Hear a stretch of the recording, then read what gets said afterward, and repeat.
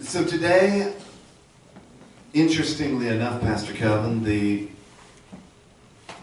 the, uh, my, the the topic of my message this morning is stand firm. All right, so you already you already let you already opened the door, so here we go. All right. So let me ask you a question. How many of you have ever had one of those times when you have felt completely overwhelmed or outmatched by your circumstances? By something that's been going on in your life and you just are just feeling, woo, like I'm not sure what to do, where to go, where to turn. All right, yeah? Okay? How many of you have had those nights, maybe more than one night in a row, where you have slept like a baby, tossing and turning and crying all night long? All right, yeah? All right, you've had those nights where you just can't, it just, it, because every time you turn, it's just turning the problem over another direction, right? Okay, and you're trying, you know, somewhere in there, you're maybe trying to pray, but honestly, at least if you're like me, it's like eh, the prayer doesn't feel like it's going very far, but there's certainly the anxiety and the frustration and the all that's going back and forth. All right, well, if you've had that experience, then welcome to humanity because I think we all have, and I certainly have. And several months ago, I was having one of those times. I was uh, facing a situation. You know, I was a pastor for over 30 years. For 26 years, I pastored our sister church in. Uh, in St. Paul, Bethel Christian Fellowship, uh, where Pastor Steve Rasmussen is now uh, the new pastor doing a fantastic job. But I was there for 26 years, and then a year and a half ago, I stepped into leading the Pilgrim Center for Reconciliation. And honestly, um, I know how to pastor, but leading this organization and leading the work of reconciliation how many of you know that the enemy is not real excited about reconciliation? And how many of you know sometimes you think, well, you know, uh, it, wouldn't it be wonderful to, to get a promotion into a new, you know, if you're, if you're aspiring into leadership, which is not a wrong thing at all, but just recognize when you aspire to leadership or when God sort of expands your territory, that also expands the target on your back. All right? And it, all it means is that the spiritual warfare amplifies along with the authority and responsibility, okay? So that's certainly true in my experience over the last 18 months. And I feel, you know, I, I'm certainly, you know, there's been an expanding of the work that God has called me to do, and there's been an expanding of some of the challenges that come with that as well. All right? So I was in the midst of one of these situations, and I was not figuring out how to get from point A to point F, much less even to point B, from where I was standing. All right? So I was feeling overwhelmed, outmatched, and I was wrestling around in my head and in my heart and wasn't sleeping. Had several sleepless nights in a row where just, you know, you're just not waking refreshed at all uh, because well, it feels like you're hardly sleeping. All right? So one morning, after this was happening, I was, at, at that particular time, I was in the middle of uh, reading through the book of Isaiah, and honestly, somehow, God put a new verse in the Bible. Okay? I don't know if that ever happens to you, but I mean, you know, I, I don't know. At least, I mean, I'm sure I'd read it, I don't know how many times before, but I had never seen this verse before in my life, where I had no conscious memory of ever having read it. But in that moment, in my situation, in the circumstance I was standing in, it was the voice of God into my situation and into my heart at that moment. And the verse said this Be careful, keep calm, don't be afraid, do not lose heart. Wow. He touched me. Oh. And it was one of those moments where suddenly this word came into my spirit and nothing externally changed, but everything changed. Do you know what I'm talking about? Nothing changes out here, but suddenly your whole perspective shifts and changes. And so, those of you that are looking for the address on that, go to page 488 in your Pew Bible, or Isaiah chapter 7. And that scripture is in verse 4 of this broader picture of Isaiah 7 1 to 17. And just a little bit later on in that same scripture, in Isaiah chapter 7, he says this in Isaiah 7 9 If you do not stand firm in your faith, you will not stand at all. So, my alternate title for this message is Stand Tall or Don't Stand at All. stand tall or don't stand at all. Because if you do not stand firm in your faith, you will not stand at all. So, my question to us this morning is simply this How can I stand firm in my faith? That's the question that I'd like us to take a look at this morning. How can I stand firm in my faith? But before we begin to answer that question, I need to give you just a little bit of context, all right? So, uh, those of you, have you found Isaiah 7? I think you're going to want to find it either in your Bible, your Pew Bible, on your phone Bible. Please don't use that for Facebook right now. You can do that later, all right? But Isaiah chapter 7. Now, here's something that's going to be kind of startling, so hang with me for a moment. But one of the very interesting things about Isaiah 7, just be prepared, ooh and ah, Isaiah 7 follows, wait for it, immediately after Isaiah chapter 6. All right? Everybody? Ooh. Ah, wow. This guy's, this guy's pretty smart. Okay? Isaiah 7 follows after Isaiah 6. But there's something really important about that. See, Isaiah chapter 6, you may not know it right now, but you know probably, you've heard scripture from Isaiah chapter 6, because Isaiah chapter 6 begins with In the year that King Uzziah died, I saw the Lord high and lifted up, and his train filled the temple. And all the angels cried, Holy, holy, holy. And the doorpost shook in the smoke, and the seraphim and cherubim, and he, Isaiah falls down on his face, saying, Woe is me, I am a man of unclean lips, and I live among a people of unclean lips.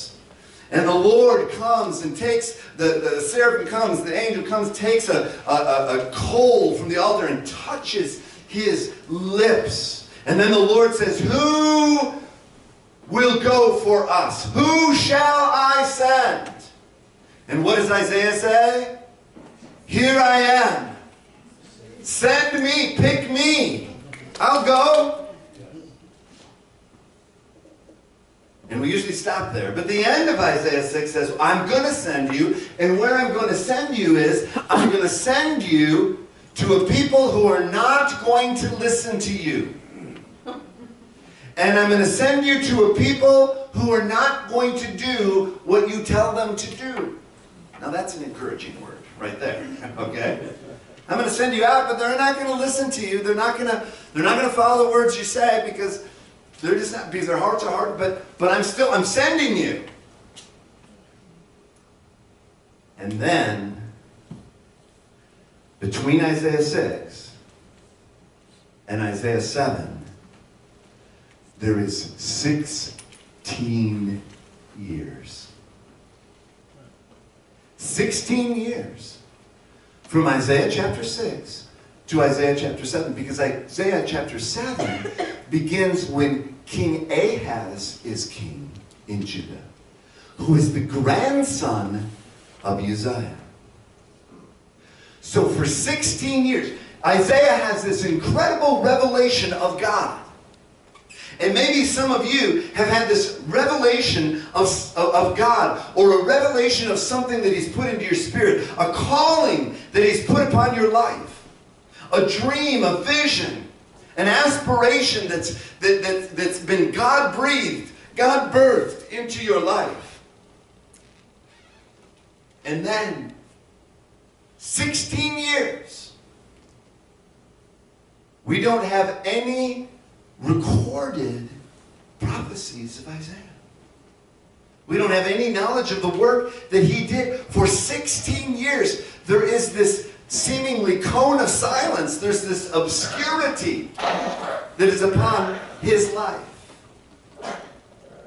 And perhaps this morning you're in that place where you feel like you've heard from the Lord something, but it feels like there is a season, a long, protracted season of waiting and obscurity Here's what I want to encourage you with today. God has not forgotten your name. He has not forgotten your address. He has not forgotten the things that He has put into your heart. This is not a sign of His rejection. It is a part of His preparation because before He ever makes a ministry, He makes a man or a woman first. So don't be discouraged if it feels like there's this sort of obscurity thing. And I think even sometimes collectively we can get there. Doesn't anybody know who we are or where we are or what we're doing? It's okay. Yes, there is one who knows. His name is Jesus. And he's preparing and he builds foundations and he does preparation before he releases his people into the work that He's called them to do. Anybody? Do I have any witness out here? Yes? Amen? Y'all are quiet. All right. You can talk to me. I know you're going to be shouting later this afternoon, one way or another. So, you can shout now. All right? So, all right. So now we come to Isaiah chapter 7. When Ahaz, son of Jotham, here we are, the son of Uzziah, okay, it's the grandson, was king of Judah, King Rezin of Aram and Pekah, son of Remaliah, king of Israel, marched up to fight against Jerusalem, but they could not overpower it. Now, I got to give you one more piece of context for this, all right? So the context is this. The, the, Israel has been split into two kingdoms the northern kingdom of Israel, the southern kingdom of Judah. And Syria is over here. That's who Aram is. Syria and Israel are coming to fight against Judah. Why are they coming to fight against Judah? Because Assyria is the big 100 pound gorilla in the neighborhood. That is the empire that's ready to take over everyone. And so Israel and Syria, or Aram and Ephraim, want to take over Judah to get them to join them against Assyria. But Ahaz has already made a decision. His decision is, I'm going to make an alliance with Assyria against Israel and Syria because instead of getting beaten by these two littler ones, I'm going to align myself with the big gorilla so that I can be saved. Well, in fact, spoiler alert, that is exactly what Ahaz ends up doing because he's determined to do that and it results in Judah ultimately just getting swallowed up by Assyria and taken over and destroyed. Okay? So he's got his own plan that he's already figured out in advance of how he's going to get out of the problem that he's in. Because he's about ready, Judah is once again about ready to be put, the, you know, the, the thumb screws are about ready to go down on them again from Aram and from Ephraim, from Syria and from Israel on Judah. Now, look at what it says here. It says, Now the house of David was told, verse 2, Aram has allied itself with Ephraim, so the hearts of Ahaz and his people were shaken as the trees of the forest are shaken by the wind. What a powerful description of what our hearts are like when we're in those situations where we feel overwhelmed and outmatched. It's like the leaves inside of us are like this, right? And they're shaking with fear, with anxiousness, with bewilderment, with confusion, and they shake. So here's my question to us. Go ahead, put up the next. The, the, the first step for us in learning to stand firm is to recognize your vulnerabilities. Recognize the things. So, so um, this, this morning, during worship, you mentioned about paying attention. God's doing business with us, and He's doing business around some of those strongholds, those things that in our life. Have you ever, have you yet figured out that in your life, those places of your vulnerability are the places that the challenges seem to come back around over and over and over again? Some people are always having relationship problems. Okay? Have you ever had somebody who's been like, I, have had this person in my life. Uh, not in my family, but just, you know, in pastoral ministry, who every boss that they had was just horrible. Every single one.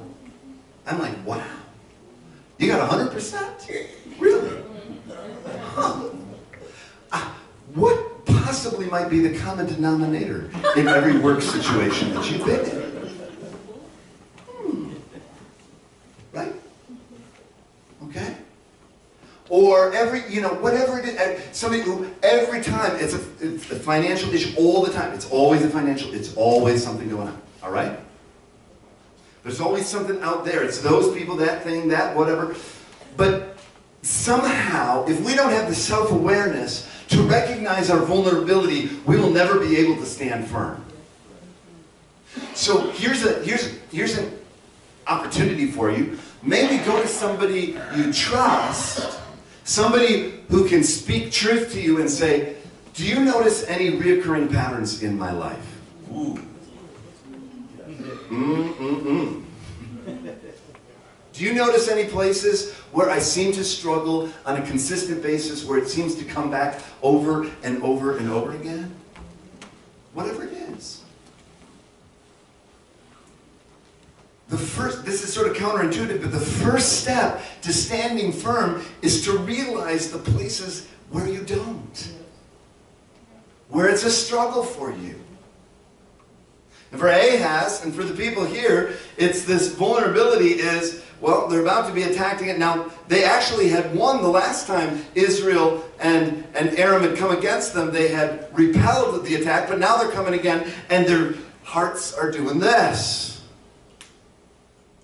So pay attention to the external circumstances around you, but also pay attention to your internal reactions to those circumstances.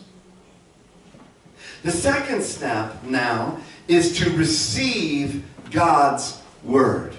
Receive God's word into your life. Now, here's, we're going to walk through these fairly quickly, but walk with me because these are significant. And these are the words that I began the message with just a few minutes ago. All right?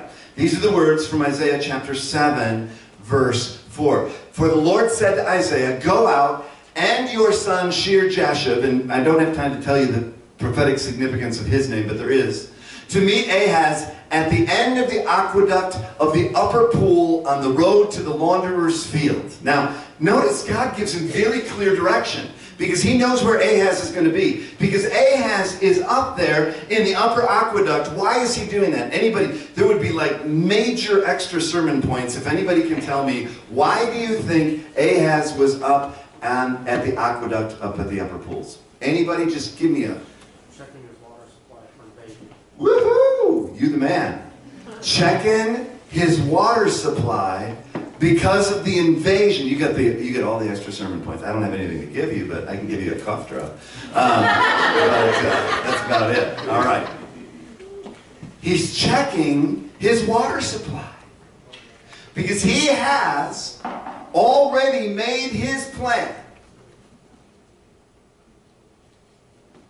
And how many of us, when we have faced situations and circumstances bigger than us, have made our plan? I can't tell you how many times, I mean, this has happened to me at least twice, maybe more. This is the honest truth where I have had my plan, I've laid it all out, it's beautifully done, I present it to God, and He says, Thank you so much for your input. Now, would you like to hear what I'm thinking about? I love when He said, Thank you for your input.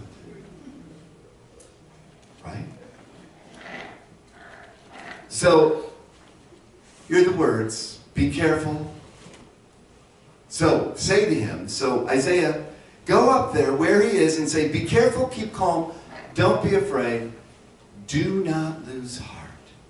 Because of these two smoldering stubs of firewood, these the fierce anger of Rezin and Aram and of the son of Remaliah.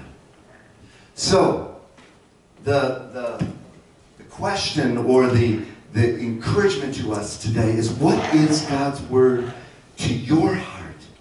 and your situation today. What's God's word? So here's what I believe is a word from the Lord to your heart and to your situation right now, where you are at, or where you're going to be at in six months or a year from now, or maybe six weeks, or maybe when you walk outside that door, or maybe you just walked out of a situation. But here is a word from the Lord that you can hang on to. All right? I've got this word now. Be careful, keep calm. Don't be afraid and don't lose heart. Have it on an index card right on my desk to remind me every day here's a word from the Lord to your heart for this season, for now. Be careful. Let's talk about that. Be careful. Be careful. The Apostle Peter was speaking to a church, writing to a church that was in the midst of incredible persecution. He says in 1 Peter 4 7, the end of all things is near, therefore be alert and of sober mind so that you can pray. Just a chapter later, in 1 Peter 5, he says a similar thing be alert and of sober mind. Your enemy, the devil, prowls around like a roaring lion, looking for someone to devour. Resist him, standing firm in the faith, because you know that the family of believers throughout the world is undergoing the same kind of suffering. So the word to be careful means that we need to be alert and of sober mind. Go ahead and put it on up there. We need to be keeping our guard up and staying alert. Because there will be temptations all around you the very temptations that Ahaz was facing of how to get out of the problems. And the church, in the midst of persecution, was trying to figure out what to do. And Peter says, in the midst of that, be alert and of sober mind. Keep your guard up and stay alert. Stay awake. Don't let the world put you to sleep. Don't let your circumstances. Don't bury your head in the sand. Don't simply try to avoid or to do the, you know, I mean, we often get into the fight or flight or freeze mode, but there is another way. And that is by fixing our eyes on Jesus, being careful, being sober minded, and being alert. Using our wise mind. Romans 12 says, have your mind transformed by the renewing of your what? Mind. Be careful. Keep calm. It's the second word. Keep calm. Most of us, I mean, you know, Philippians chapter 4, you can quote it with me. Do not be anxious about most things, but in most of the situations you're facing.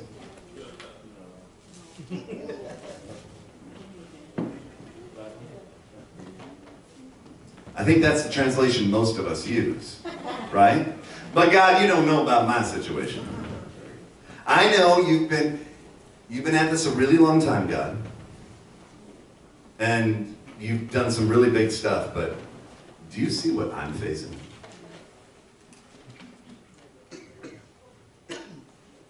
Do not be anxious about anything, but in every By prayer and petition with thanksgiving, present your request to God, and the peace of God, which transcends, it's not, it's not something that makes sense. It transcends your understanding, it transcends what you can figure out yourself, will guard your hearts and minds in Christ Jesus. Trust in the one who is greater than your circumstances and greater than your heart and greater than your thoughts. Trust in him. He's greater than your circumstances, your heart, and your thoughts.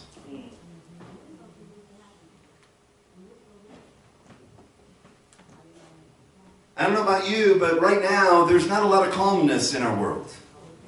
And certainly not a lot of calmness in our country.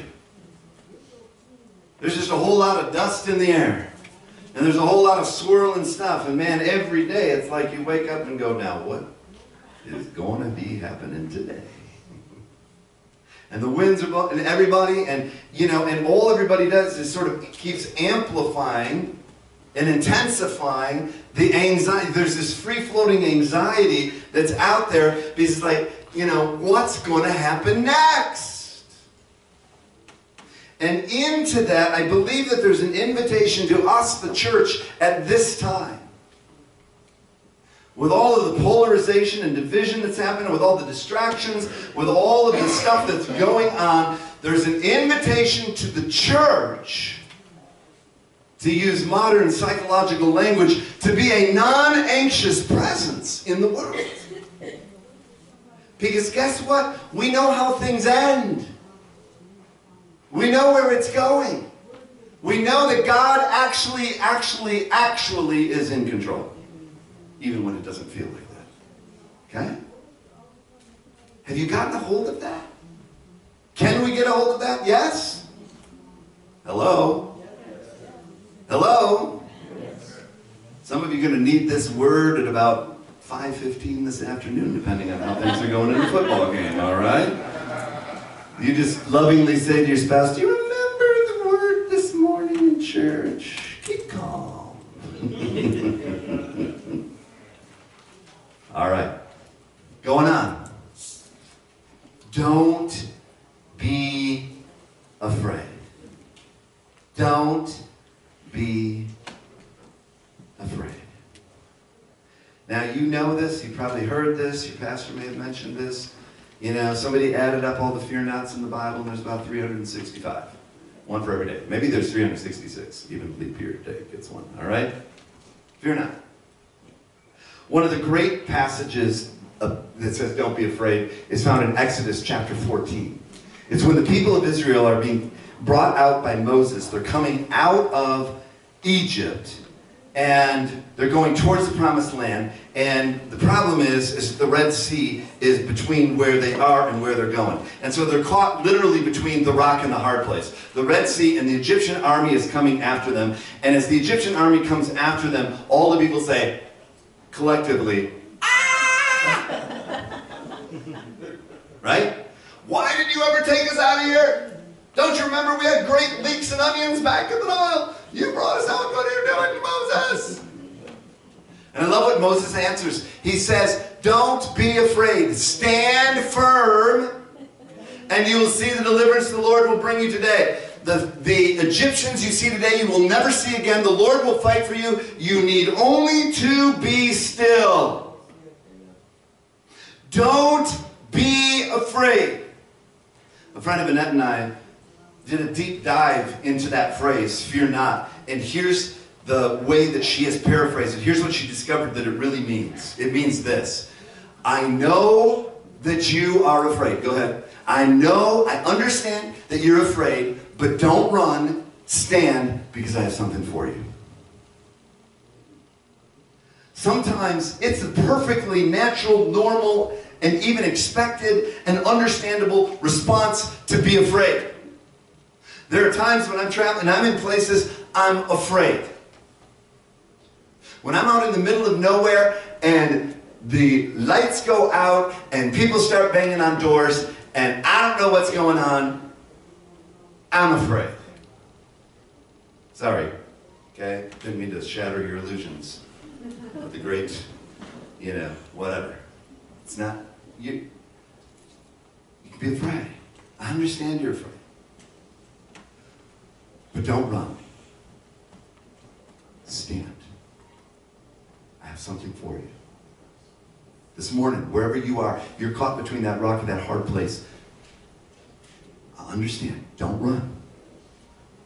Stand. I have something for you. God will fight for you. And then do not lose heart. This is the, the fourth word. Don't lose heart. Do not lose heart.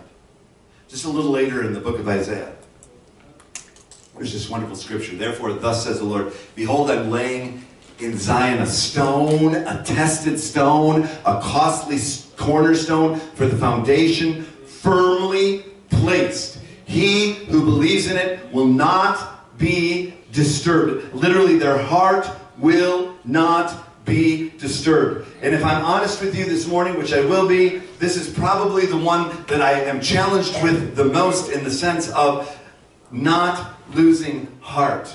Because I don't know about you, but it sometimes feels like I'm in this ministry of reconciliation. It does not think, feel like in this season of time that things are pulling together. It feels like things are pulling more further apart. Or I don't know if you've been in situations where it seems like you're in the middle of something and, and it just seems like things are not improving. Things are not getting better. Things are more, or you're facing that challenge that you faced 473 times before, and you're like, God, here I am again. And you're ready to lose heart. But my encouragement to you this morning is to take your heart and recognize that there is a sure, secure foundation for your heart. Go ahead, put it up. There is a sure, secure foundation on which you can rest your heart. So this morning, if you feel like you're about ready to lose heart, here's my encouragement to you. Do not lean into your despair. Lean your heart and rest it on the firm, sure, secure foundation, the cornerstone that will not be moved. Amen? Yes. This is the place to rest your heart. Rest your heart. Mm-hmm. Yes. Rest your heart in Him. And stand firm. Stand firm. Now we've come full circle. It's the fifth and final word in this particular passage. Stand firm. Because it goes on in Isaiah chapter 7. You, you see it here. Whoops. Sorry. Wait a minute. Hold on one minute, second. Uh, here we go.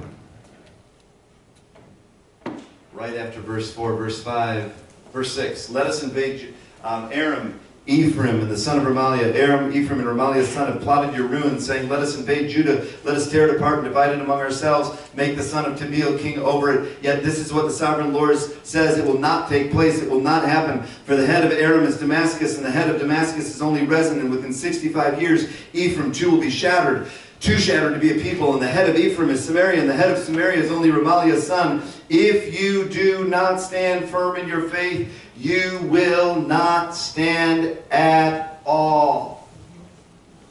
Stand firm. And go ahead, put up, that's good. The Ephesians 6. Thank you again, Pastor Calvin, for helping to preach the message before I got there. Therefore, put on the full armor of God so that when the day of evil comes, you may be able to stand your ground. And after you've done everything to stand, stand firm.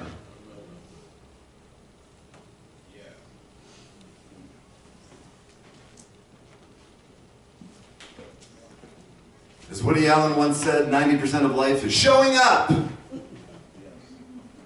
Show up. In your family, show up. On your job, show up. In your church, show up. In your community, show up. And stand firm. Stand firm. When you've done everything else, keep standing. keep standing.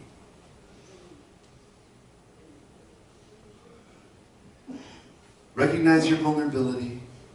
Receive God's word. But there's one more thing to this standing firm. And this is so cool. Remember God's promise. Remember God's promise. We've got to go on just a little bit further now. Run with me right to the end here. Again, the Lord spoke to Ahaz, verse 10. Ask the Lord your God for a sign, whether in the deepest depths or in the highest heights. But Ahaz said, I'll not ask. I'll not put the Lord to the test. He's sounding real spiritual here, folks. I'm not going to put. I'm not going to put the Lord to the test. Tells us in Deuteronomy, don't put the Lord to the test. I can't do that. Well, guess what? You can put the Lord to the test when He tells you to. He told Ahaz, put me to the test. But Ahaz didn't want to because Ahaz had already decided what he was going to do. He actually didn't want to receive God's word. But then it says, I'll not ask. Then Isaiah said, Well, hear now, you house of David. Is it not enough to try the patience of humans? Will you try the patience of God also? Therefore, the Lord Himself will give you a sign. The virgin will conceive and give birth to a son, and you will call him Emmanuel.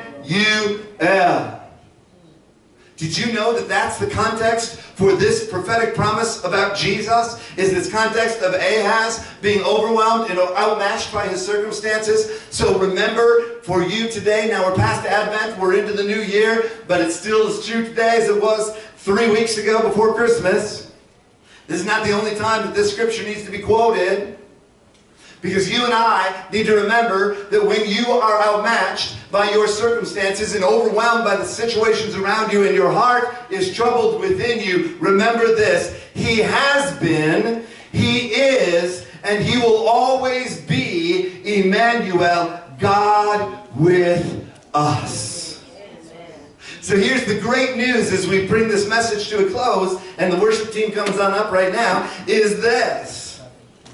The great news is that in the middle of your circumstance, in the middle of your situation, where you feel outmatched and where you feel outnumbered and where you are overwhelmed, the reality is this you are not alone. You and God are together in this, and one person with God is a majority. And He is with you today. And so this is not a message out of Second Hesitations 4.17, which says, pull yourselves up by your bootstraps and just grit your teeth and work a little bit harder. No, this is a message out of the Word of God, which reminds you today that God is with you in the middle of whatever it is that you are going through, or whatever you're going to be going through six months from now, or whatever you just went through. God is with you. He is with us. He has been with Fountain of Life. He is with Fountain of Life. He will be with Fountain of Life. Because He is who He is, which is faithful. Always and forever. He is faithful and trustworthy.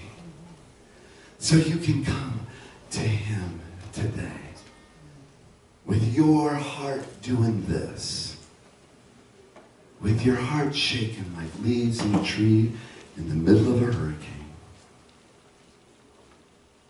He's got you. He's with you. You're not alone.